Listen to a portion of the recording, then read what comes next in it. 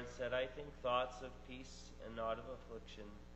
You will call upon me, and I will answer you, and I will lead back your captives from every place. In the name of the Father, and of the Son, and of the Holy Spirit. The grace of our Lord Jesus Christ, the love of God, and the communion of the Holy Spirit be with you all. To prepare ourselves to celebrate the sacred mysteries, let us call to mind our sins.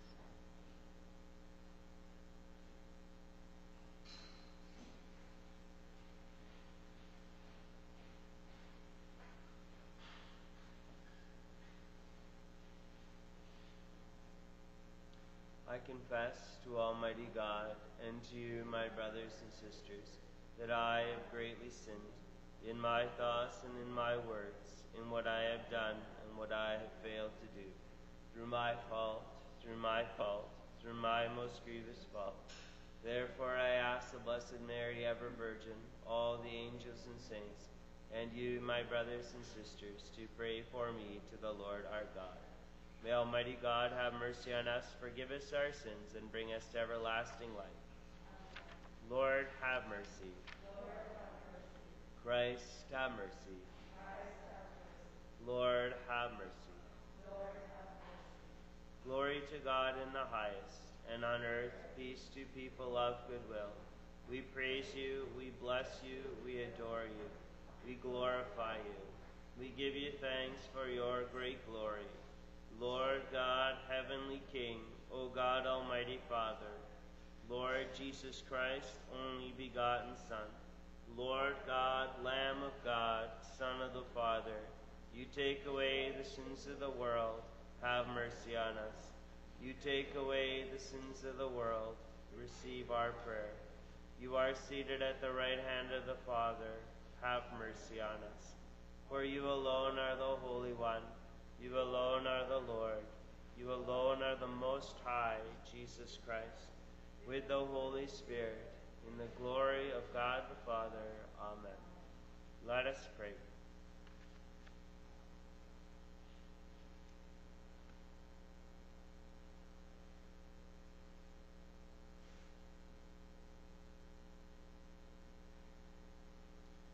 Grant us, we pray, O Lord, O Lord our God, the constant gladness of being devoted to you.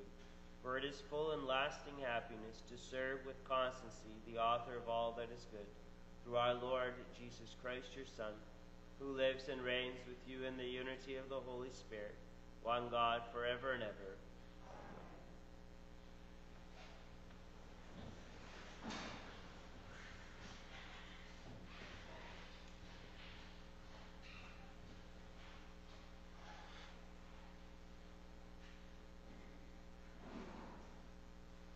Reading from the book of Proverbs. A capable wife, who can find her? She is far more precious than jewels. The heart of her husband trusts in her, and he will have no lack of grain. She does him good and not harm all the days of her life. She seeks wool and flax and works with willing hands.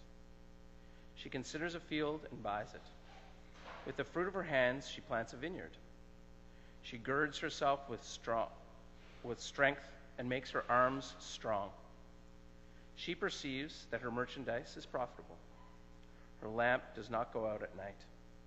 She opens her hand to the poor and reaches out her hands to the needy. She opens her mouth with wisdom, and the teaching of kindness is on her tongue. Her children rise up and call her happy. Her husband, too, and he praises her. Many women have done excellently, but you surpass them all. Charm is deceitful, and beauty is vain. But a woman who fears the Lord is to be praised. Give her a share in the fruit of her hands, and let her works be praised in the city gates. The word of the Lord. Thanks be to God.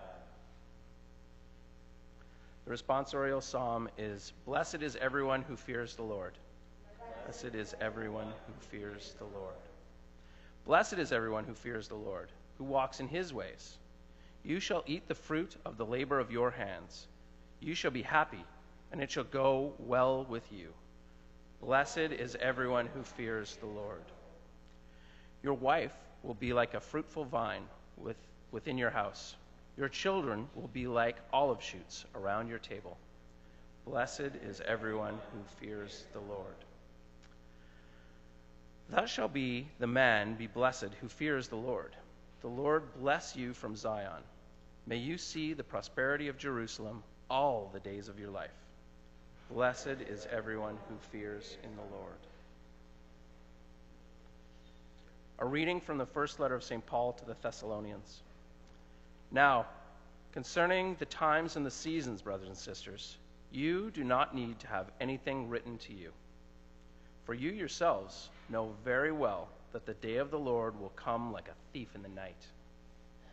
When they say, There is peace and security, then sudden destruction will come upon them, as labor pains come upon a pregnant woman, and there shall be no escape. But you, beloved, are not in darkness, for that day to surprise you like a thief. You are all children of light and children of the day. We are not of the night or of darkness. So then, let us not fall asleep as others do, but let us keep awake and be sober. The word of the Lord.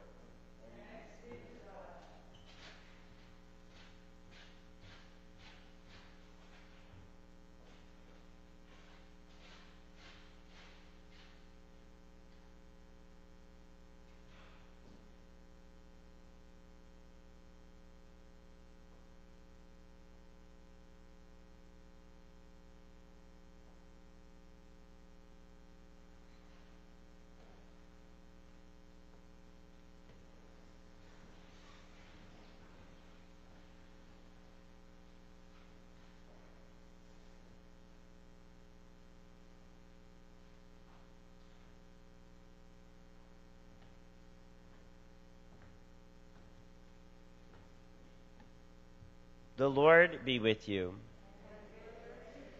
A reading from the Holy Gospel according to Matthew.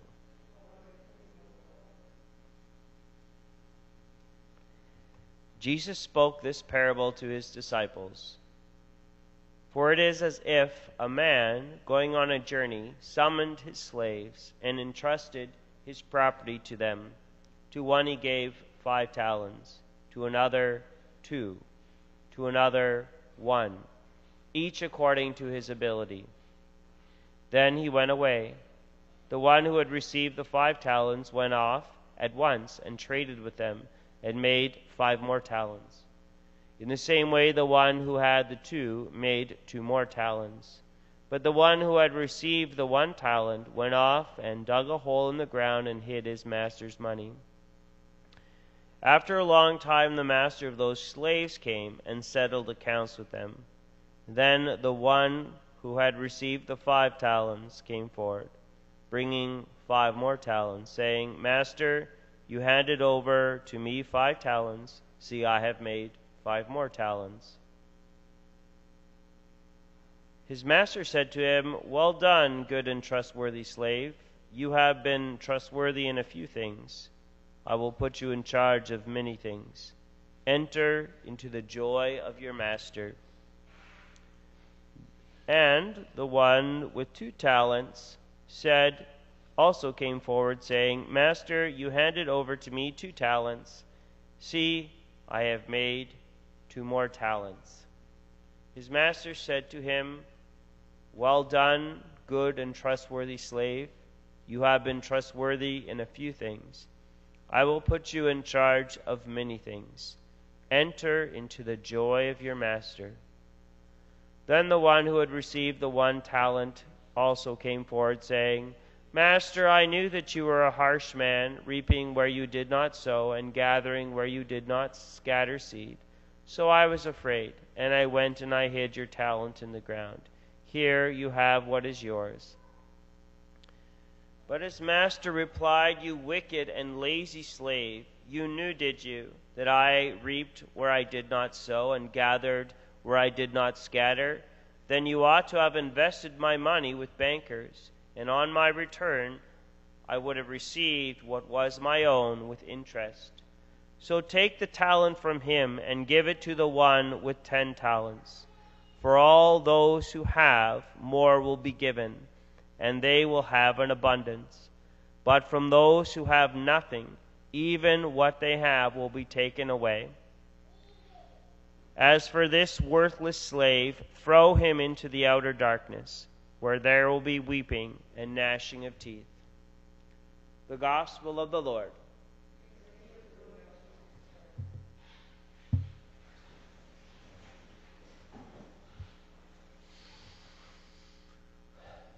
Imagine for 20 years of your life you saved every possible penny that you could. I guess we don't have pennies anymore. Every possible nickel that you could. You just you chose to, you know, just just survive. You never took a vacation. You worked whatever overtime you could. Uh, you know, you wore poor clothes. You ate uh, terrible food just so you could save all this money. And you did this for 20 years. At the end of 20 years, you took that money and you brought it to an investor. Now, what type of care would you expect that investor to have in your money? What would you expect that how would you expect that investor to treat that money that you had worked and sacrificed so hard for? I'll give you another scenario. So my parents were huge proponents of Catholic education. Uh, they sent all five of us to Catholic school at, at, great expense to them. I remember at one point in the game, my parents were giving uh, a third of their entire income to put all five of us in Catholic school. Um, and I remember this very vividly. In grade three or four, um, I was bored at school one day, and uh, so I started carving crayons with my pen lid. And that's basically all I did all day long. And uh, my father was called to school. And he said, um, he, they gave him kind of the scenario. And my father was never someone to, he wasn't really a reactive person. But when I got, uh, when he came back home from the reporting that he had, because I'd been wasting my entire day, uh, he said, I saw some of the crayons you carved. And I was like, well, I'm pretty sure he would have saw all of them. But my father had figured that if I had been at this all day, I should have carved a lot more. You know, not just one or two. But I, I kind of look back on this and I, and I kind of I marvel. You know, my parents made a lot of sacrifices so I could go to Catholic school. I'm, I'm kind of surprised that they didn't demand something of that. You know, like, hey, you know, I have to work a couple months a year so that you can go to Catholic school. Why are you messing around? Like, why? What, what are you doing there? You know, I, I'm kind of surprised my parents didn't cancel that whole thing and, and think like this is a bad investment for the money because I never really tried my entire school time. So that's a bad example. But when we really look at it, we can see that I never really had a mission when I went to school. I just sort of showed up there. I showed up there and I survived my 12 or 13 years, however long it takes, I can't remember. Um, but I survived there. I didn't have any mission in mind. You know, just like you and I would expect that investor to have a mission when they are investing our money, we too also are going to have some expectations about us.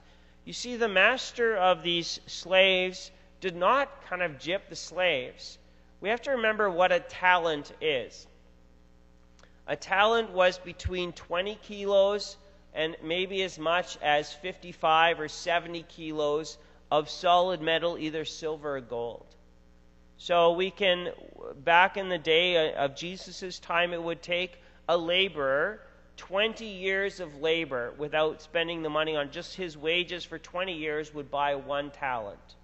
So it was a substantial thing that the owner had entrusted, whether he gave him five, two, or one. You know, it was over, well over what we would consider a million or two million dollars for just the one talent. That's what it was. So he entrusted something to them and he gave them a specific task. He gave them a specific task, a mission.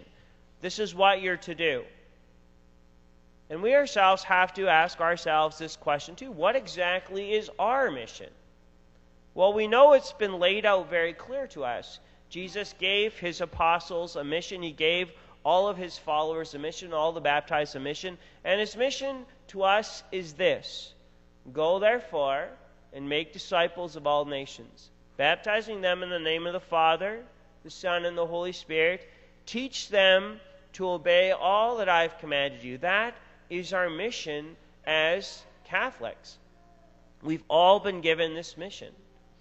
You know, I wonder if my parents had sat down with me on a on a kind of a daily basis and said like, "Hey, what are what are you going to school today for?" Uh, probably not to carve crayons, right? no. okay, so what are you going there for? Well, you're going to learn. You know, you're going to learn. You're you're you're there to to to figure out uh, to to become intelligent. You're there to develop something, right? You're not just there to to take up space in the classroom. But a lot of times, we ourselves, when we don't have this idea of mission or we're not connected to it, we're going to end up kind of spinning our lives. You know, if at the end of five or six years you came to your investor and you're like, What have you done? Well, I've carved a lot of crayons. You'd be like, No, that's, that's not acceptable. That's not acceptable. That is not your mission. That is not what I gave you this money for. And it's the same thing with us and God. We have to ask ourselves the question why has God granted us all this? Why has God given us our gifts and talents? Why has God allowed us to share in His grace? Why does God allow us to partake of His body and blood, soul, and divinity? Why did God adopt us as His sons and daughters? Why did God empower you and I with the gifts of the Holy Spirit? Why did God give us the grace of ordination or the grace of marriage? Why has God done all this? For a mission, for a purpose. And that is that mission go forth, make disciples, people who follow Christ, people who give themselves to Christ, baptize them, bring them also into my family. I want everyone to be part of my family. I want everyone to share in the joy of the Father's kingdom. Teach them all that I've commanded you. Why? Because that's the only way they can live their life epically, as I've desired them to do. So for us as Christians, we must keep this before our eyes and our minds. If we if we don't keep our mission before our eyes and our minds, uh, we're going to be failing at it.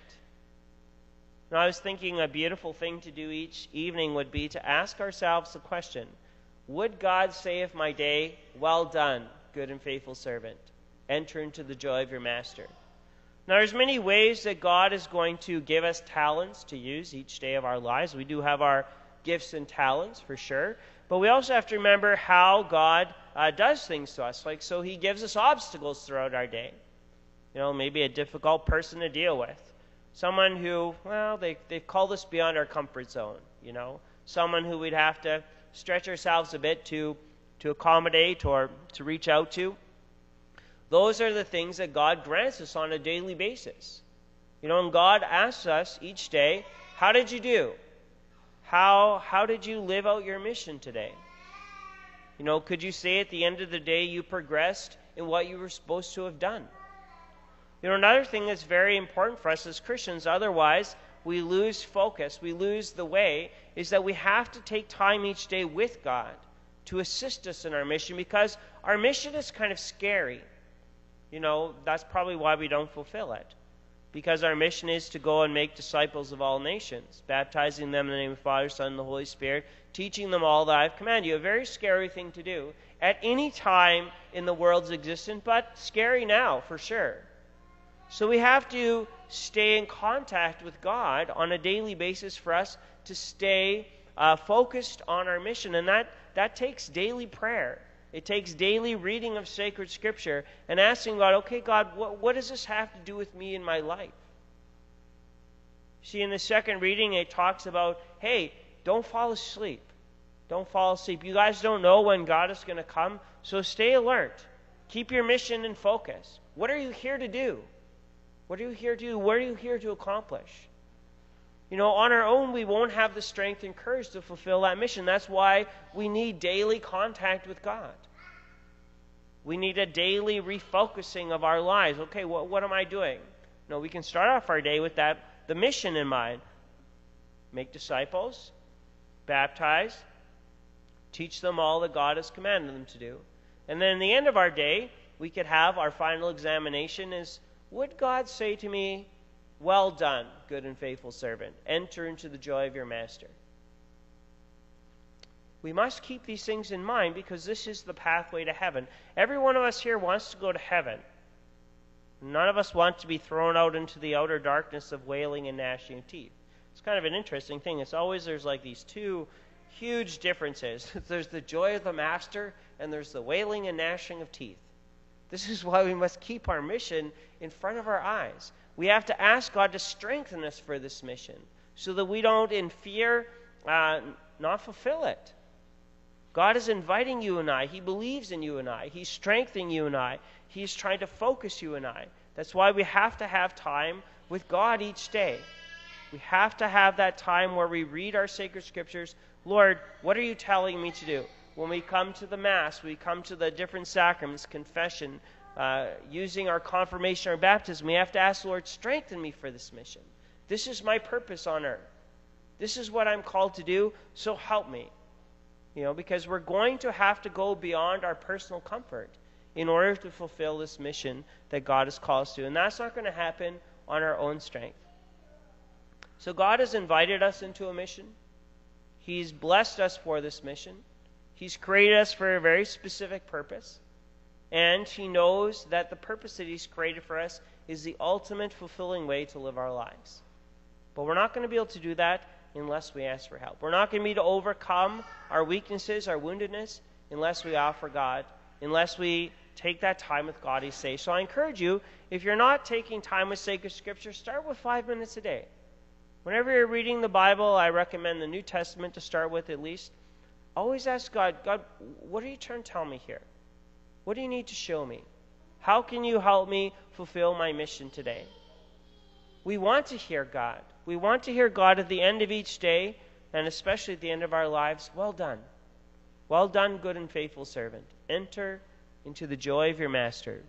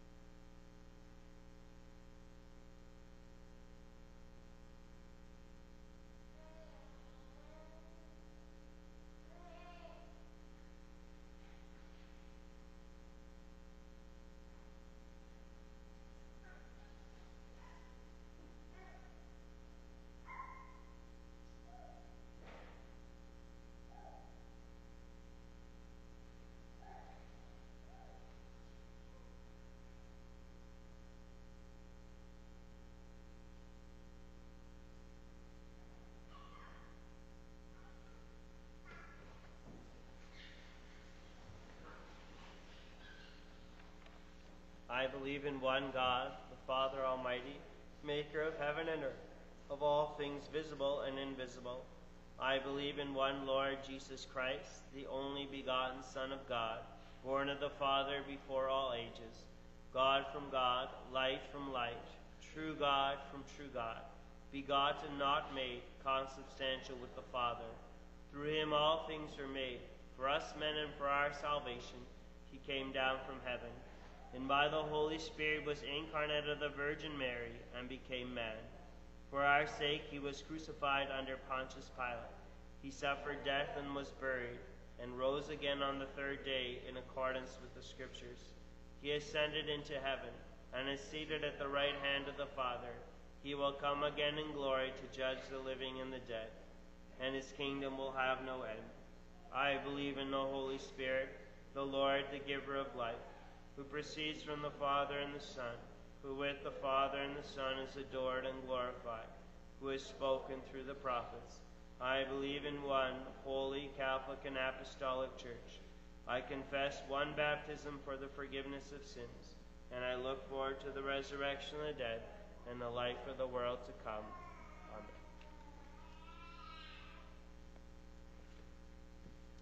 My dear brothers and sisters, gathered as one to celebrate the good things we have received from our God, let us ask Him to prompt in us prayers that are worthy of His hearing. We pray for our Holy Father Francis, for Pope Emeritus Benedict, for our Bishop Joseph, for their health, intentions, and constant growth in faith, hope, and charity. For this we pray to the Lord. Lord, we pray for the grace to truly fulfill the mission that you have called us to. For this we pray to the Lord. Lord, I pray that we can keep our hearts and minds.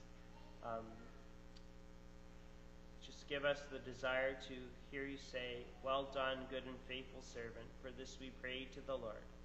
Lord we pray for the sick and the dying, those who will die today, those with different infectious diseases, coronavirus, that God may grant mercy and healing to them. For those who work in the healing of these diseases, that they may use ethical and moral means. For this we pray to the Lord. We pray for all of our deceased relatives and friends, especially those written in the book of the dead, that God may grant eternal rest to their souls. For this we pray to the Lord. We pray for proper discernment on the new church. For this we pray to the Lord. This Mass we pray in a special way for the souls of Dorothea, Roberto, and Romeo Tagalog. For this we pray to the Lord. In a moment of silence, we offer up our own prayers and petitions.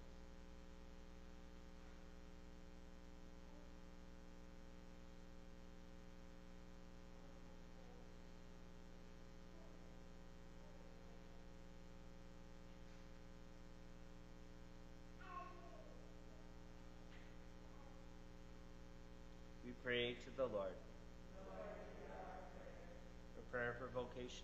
O God, you have chosen the apostles to make disciples of all nations, and by baptism and confirmation have called all of us to build up your holy church. We earnestly implore you to choose from among us, your children, many priests, brothers, and sisters, who will love you with their whole heart, and will gladly spend their entire lives to make you known and loved by all. May the petition of your church be pleasing in your sight, O Lord, so that we may receive from your mercy what we cannot ask out of confidence in our own merit. Through Christ our Lord.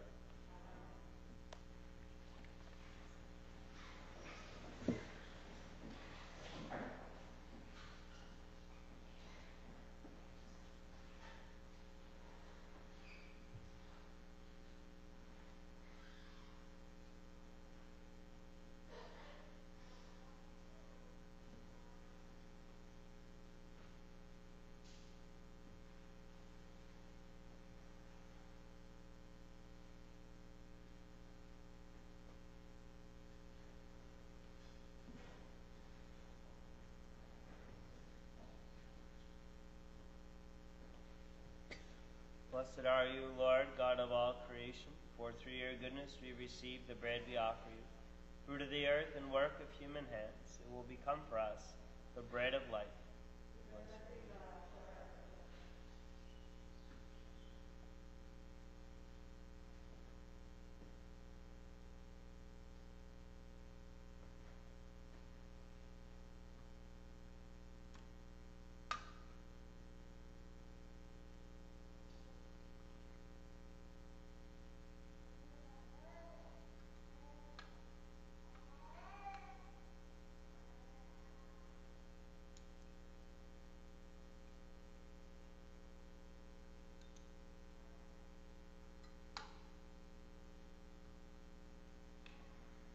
Blessed are you, Lord God of all creation, for through your goodness we receive the wine we offer you.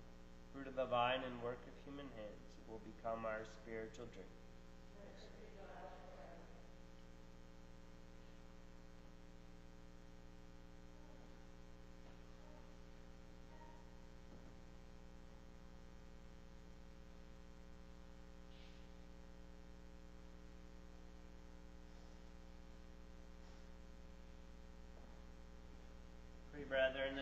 Sacrifice and yours may be acceptable to God, the Almighty Father.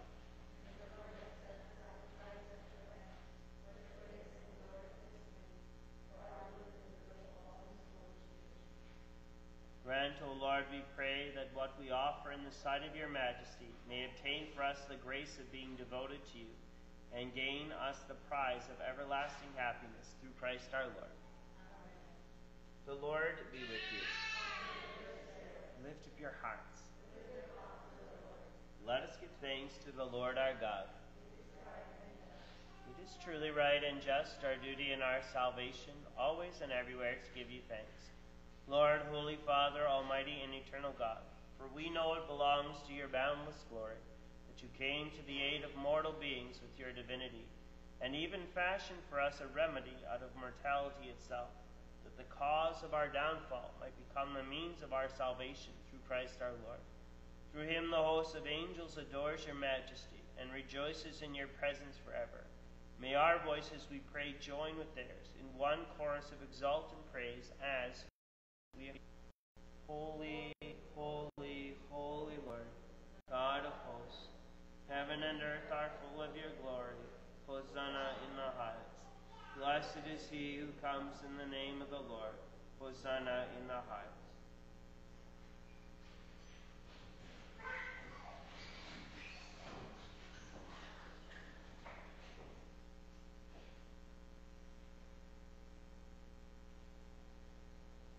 You are indeed holy, O Lord, and all you have created rightly gives you praise. For through your Son, our Lord Jesus Christ, by the power and working of the Holy Spirit, you give life to all things and make them holy. And you never cease to gather a people to yourself, so that from the rising of the sun to its setting, a pure sacrifice may be offered to your name. Therefore, O Lord, we humbly implore you, by the same Spirit, graciously make holy these gifts we have brought to you for consecration, that they may become the body and blood of your Son, our Lord Jesus Christ, at whose command we celebrate these mysteries. For on the night he was betrayed, he himself took bread, and giving you thanks, he said the blessing, broke the bread, and gave it to his disciples, saying, Take this, all of you, and eat of it, for this is my body, which will be given up for you.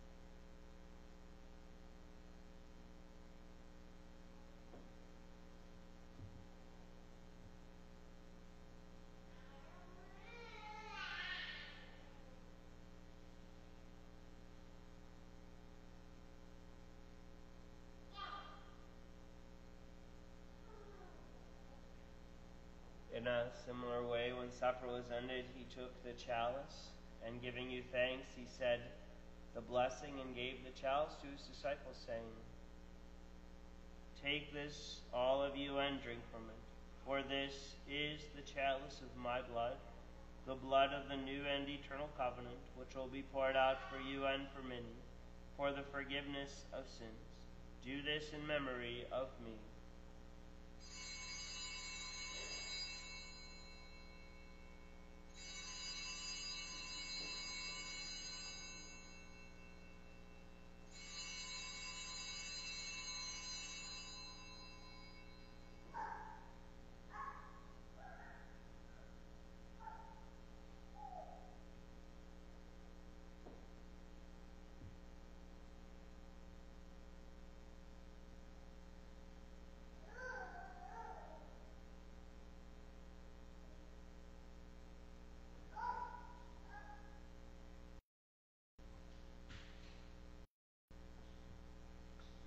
Mystery of faith.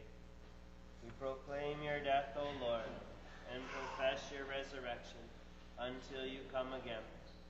Therefore, O Lord, as we celebrate the memorial of the saving passion of your Son, his wondrous resurrection and ascension into heaven, and as we look forward to his second coming, we offer you in thanksgiving this holy and living sacrifice. Look, we pray, upon the oblation of your church and recognizing the sacrificial victim by whose death you will to reconcile us to yourself. Granted, we who are nourished by the body and blood of your Son, and filled with his Holy Spirit, may become one body, one spirit in Christ.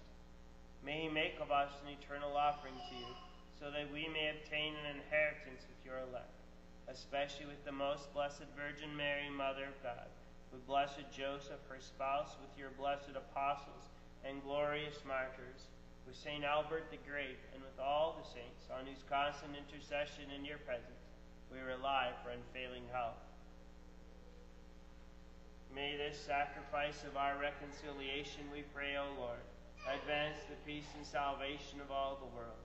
Be pleased to confirm in faith and charity your pilgrim church on earth, with your servant Francis, our Pope, and Joseph, our Bishop, the order of bishops, all the clergy, and the entire people you have gained for your own. Listen graciously to the prayers of this family, whom you have summoned before you. In your compassion, O merciful Father, gather to yourself all your children scattered throughout the world. To our departed brothers and sisters, and to all who are pleasing to you at their passing from this life, give kind admittance to your kingdom. There we hope to enjoy forever the fullness of your glory. Through Christ our Lord, through whom you bestow on the world all that is good. through him and with him and in him, O God Almighty Father, in the unity of the Holy Spirit, all glory and honor is yours forever and ever. At the Savior's command, informed by divine teaching, we dare to say, Our Father, who art in heaven, hallowed be thy name. Thy kingdom come, thy will be done on earth as it is in heaven. Give us this day our daily bread, and forgive us our trespasses, as we forgive those who trespass against us. And lead us not into temptation, but deliver us from evil. Deliver us, Lord, we pray, from every evil. Graciously grant peace in our days, by the help of your mercy we may be always free from sin, and safe from all distress, as we await the blessed hope and the coming of our Savior Jesus Christ, for the kingdom.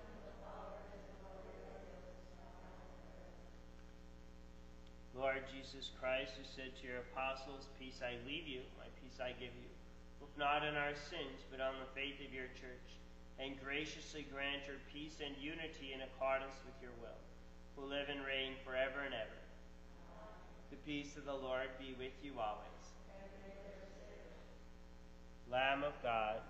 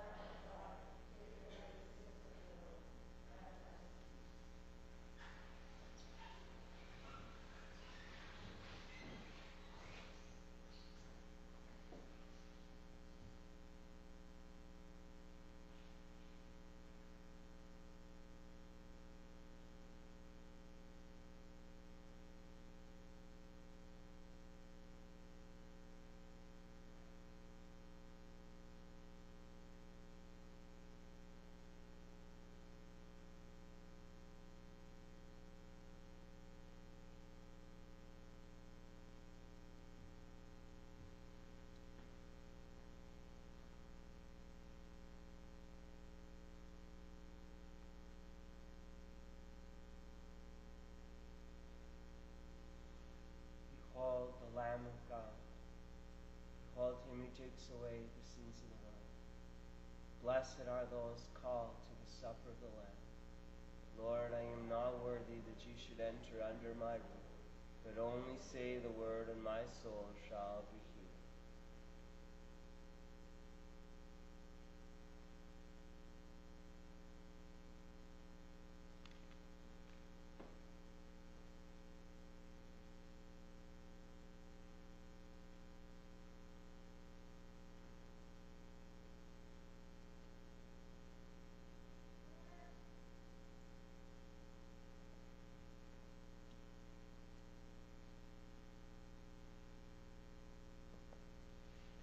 My Jesus, I believe that you are present in the most holy sacrament.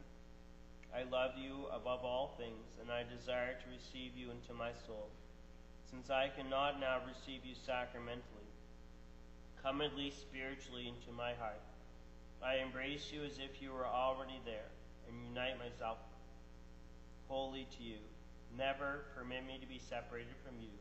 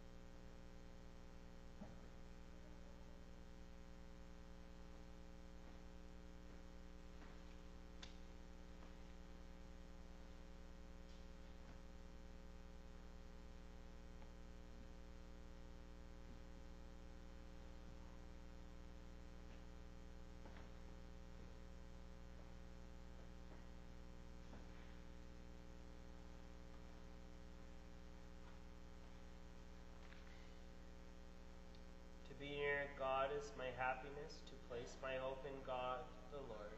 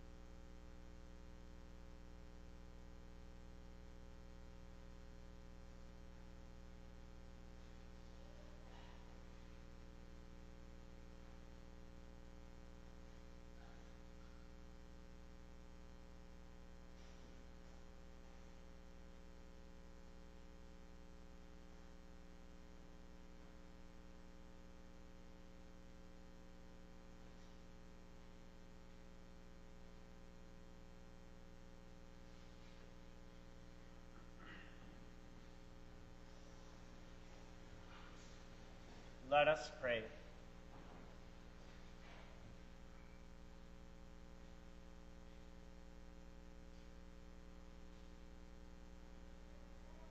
We have partaken of these gifts of the sacred mysteries, humbly imploring, O Lord, that what your Son commanded us to do in memory of him may bring us growth in charity through Christ our Lord. So, three things. Um, this Sunday is the 33rd Sunday in Ordinary Time. Next Sunday will be the Feast of Christ the King, the last Sunday in Ordinary Time, and then we move into the Advent season. I really encourage you to start thinking now of what you're going to do for Advent. Remember, these seasons within the church are always meant to prepare our souls for heaven. You know, um, so a good idea is to find some way during this Advent season, maybe learn uh, a, good, a better way of praying or something so that we can enter more deeply into relationship with Christ. Christmas is supposed to be a transformative event in our lives, not just something that we remember year after year and then leave unchanged. Each one of these liturgical seasons is meant to help us progress in the journey, uh, help us go into our mission. So I really encourage you to, to keep that in mind. It'll be two Sundays from now, we'll be in Advent and then for four more Sundays will be Christmas. And we always want to make sure these things are, are doing something to us, preparing us for what our ultimate purpose of life is. Second thing is um, uh, the young fellow who comes up here the odd time, uh, Deacon Richard Conlon, he'll be ordained on December 11th at the Holy Rosary Cathedral. And I was hoping as a parish we could make a gift to him, either a chasuble or a chalice. So if you'd like to donate to that, uh, your donations will be gratefully accepted, and then as a parish, we will present uh, to him whatever he feels he needs more of. Uh, if you make a donation, though, it will not be counted as a charitable, uh, tax donatable thing because it's given as a gift to someone else. You can make the donations to the office uh, through the normal means cash, check, or EMT, PayPal, whatever you'd like to do. Thirdly, uh, we're still looking for your responses about uh, the, the discernment of the new church. So we'd really appreciate it if you could, if you haven't done it already, to please uh, fulfill or fill out the form. Uh, some people have complained that you know they don't like to put their email on the, the form, but as Catholics, we should be, we're going to have to stand up for what we believe. You know, if you are totally against this thing here, you have to stand up for what you believe and, and, and take to be true. You know, that's part of the discernment thing as a parish, that we have to stand for what we believe. This is a, a safe way to try that. You know, if you don't like what's going on, then you have to tell us. You can't just go along and say, oh, well, what does my opinion matter? We're asking for your opinion. As, as people, we need to put it out there. So I, I really encourage you, take the time, put, put your thoughts down. We need that to make good discernment. That's, that's part of our duty as Christians to, to engage in these things. We can't just stand by and say, well, I don't want to offend anyone. Um, that's not going to cut it for us. So please, take the time, do that. Help us discern this. The Lord be with you. May Almighty God bless you, the Father, the Son, and the Holy Spirit. Go forth, the Mass is ended.